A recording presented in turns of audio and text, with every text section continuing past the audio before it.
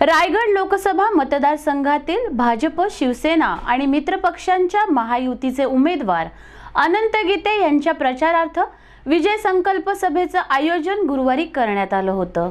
ही सभा मुख्यमंत्री देवेंद्र फडणवीस यांच्या अध्यक्षतेखाली संपन्न झाली.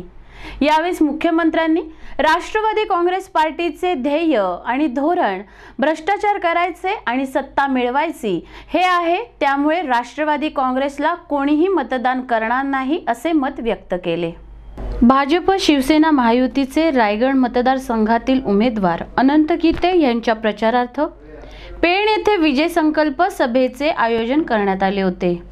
या सभेला महायुतीचे रायगड मतदारसंघाचे उमेदवार अनंत गीते माजी खासदार लोकनेते रामशेठ ठाकूर रायगडचे पालकमंत्री रवींद्र चव्हाण सिडको अध्यक्ष तथा भाजप जिल्हाध्यक्ष आमदार प्रशांत ठाकूर जिल्हा संपर्क प्रमुख आमदार प्रवीण दरेकर माजी मंत्री रविशेठ पाटील माजी आमदार देवेंद्र साटम शिवसेना रायगड जिल्हा प्रमुख किशोर जैन आर पी आयचे रायगड जिल्हा अध्यक्ष जगदीश गायकवाड जे एन पी टी विश्वस्त महेश बालदी अविनाश कोळी प्रवक्ते मिलिंद पाटील यांच्यासह महायुतीचे पदाधिकारी महिला पदाधिकारी कार्यकर्ते तसेच मोठ्या संख्येने नागरिक उपस्थित होते.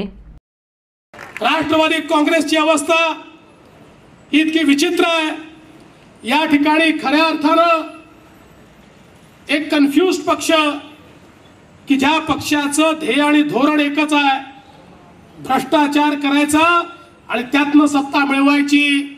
पण आता तो जमाना गेला आता राष्ट्रवादी काँग्रेसला या ठिकाणी कोणीही मतदान करणार नाही आहे आणि यांच्यासोबत खरंच आहे विनाशकाले विपरीत बुद्धी म्हटलं शेकाप यांच्यासोबत गेला. शेकाप हा पक्ष एकेकाळी शेतकरी कामगारांचा पक्ष होता. पण आता माझं मत असं आहे की शेकापनं आपलं नाव बदलावं आणि भाकाप करावं. म्हणजे भांडवलदार कारखानदार पक्ष. आता याचा न शेतकऱ्याशी संबंध राहिला न कामगाराशी संबंध राहिला. हा भांडवलदारी पक्ष झालाय. आता केवळ भांडवलदारांच्या पाठीशी उभा राहणारा पक्ष अशा प्रकारची शेकापची अवस्था आहे.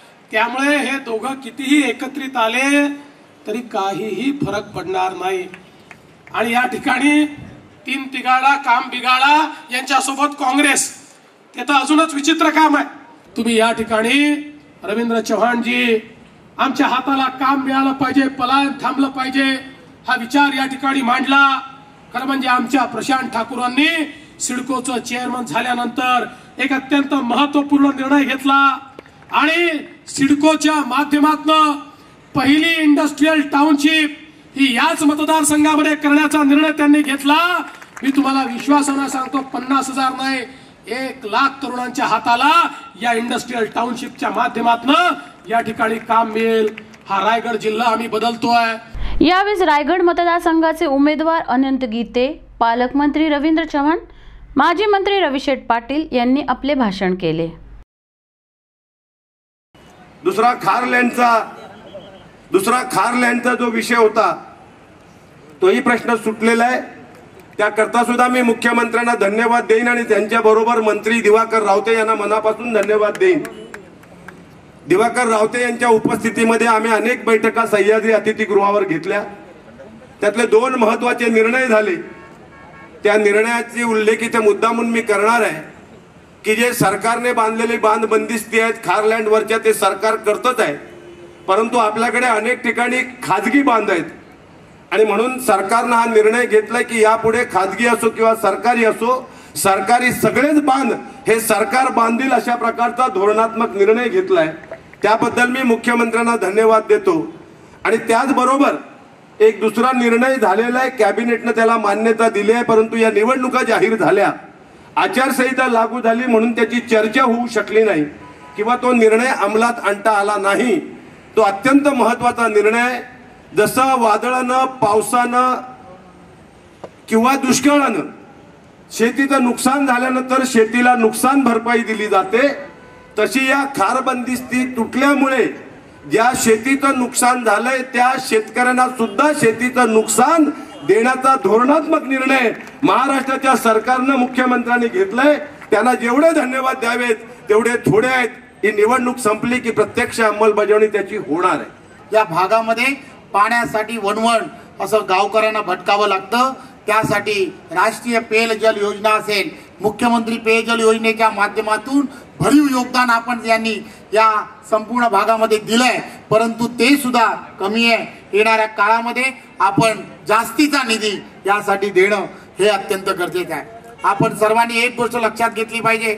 या सर्व भागामध्ये मुंबई असेल पुणे असेल अशा सर्व शहरांच्या लगत असणारा हा संपूर्ण जिल्हा आहे. हा मोठा जिल्हा आहे. परंतु या जिल्ह्यामध्ये संपूर्ण जिल्ह्यामध्ये असणारा तरुण जो आहे हा तरुण आज या गावामध्ये राहत नाही. हा गावातून स्थलांतरित होऊन हा शहराच्या दिशेने निव्वळ पंधरा वीस हजार रुपये पगाराच्या निमित्ताने हा शहराच्या दिशेने जातो. पूर्णच्या पूर्ण गावं ओसाड होत चालली आहेत. आणि यासाठी माननीय मुख्यमंत्रीजी मी तुम्हाला विनंती करणार आहे की या रायगड जिल्ह्यामध्ये छोटे मोठे असे उद्योग निर्माण करणं या संपूर्ण इथला असणारा भूमिपुत्र असेल इथला असणारा मोठ्या प्रमाणामधील असणारा तिथला गावकरी असेल या सर्वांना इथेच रोजगाराची मोठ्या प्रमाणामध्ये निदान पन्नास हजार लोकांना इथे नोकरीची संधी प्राप्त करून देण्यासाठी एक मोठ्या प्रमाणामध्ये आपण काम केलं पाहिजे. आणि त्यासाठी आपण सर्वजण एक वेगळ्या पद्धतीने आपल्याकडे आशेने पाहत आहेत आमच्या बालगंगेचा प्रश्न. ज्या बालगंगेत भ्रष्टाचार झाला भ्रष्टाचाराचा संपूर्ण माहोल सुनील तटकरेंकडे आहे. परंतु आमच्या गरीब शेतकऱ्यांना न्याय मिळाला नाही. गरीब शेतकऱ्यांना न्याय मिळाला पाहिजे. त्यांना आजच्या बाजारभावाप्रमाणे पैसे मिळाले पाहिजेत. आजच्या बाजारभावाप्रमाणे पैसे मिळाले तर मला वाटते आमचा हा शेतकरी कुठेही वंचित राहणार नाही. आणि म्हणून ह्या ठिकाणी जे पुनर्वसाचे प्रश्न आहेत काय जे प्रश्न आहेत ते मार्गी लागले पाहिजेत.